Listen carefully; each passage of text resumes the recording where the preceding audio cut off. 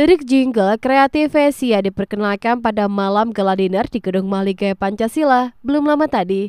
Jingle kreatif Vesia itu diciptakan langsung oleh Ketua TPPKK Provinsi Kalimantan Selatan Raudato Jana atau yang akrab disapa Acil Odah.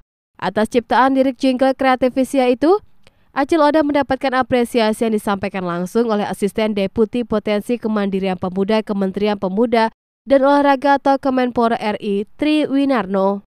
Triwinarno mengatakan jingle kreatif Vesia yang diciptakan Acil Oda dapat mendorong kepemudaan melalui karya seni serta pengembangan kebudayaan daerah.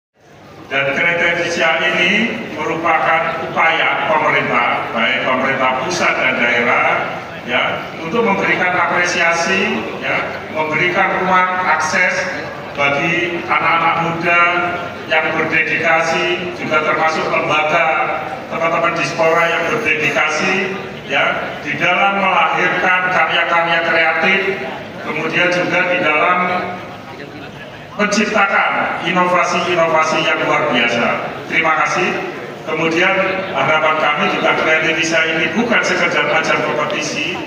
Diharapkan bahwa teman-teman individu, pemuda, kemudian teman-teman komunitas bisa saling bertemu, berbagi, ya kaitan dengan knowledge, narasi-narasi, program layanan kepemudaan, ya yang lebih istilahnya engagementnya, ya betul-betul anak muda.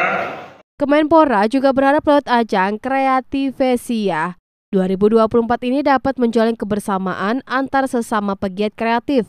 Kreativesia sendiri merupakan salah satu upaya pemerintah pusat dan daerah dalam memberikan apresiasi bagi anak muda yang berdedikasi Tim Liputan, Duta TV, Banjarmasin.